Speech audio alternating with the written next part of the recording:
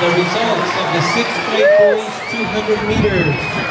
In 10th place from Meeker, Ethan Todd.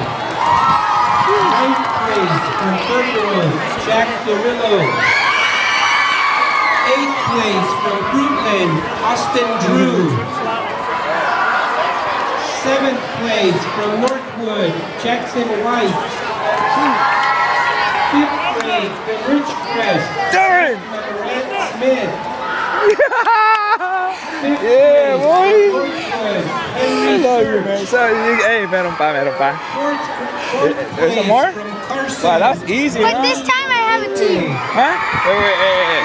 That was easy. I'm gonna treat you. Where do you wanna eat? From Maplewood, Oh, Miles Island, Smith. okay? Go.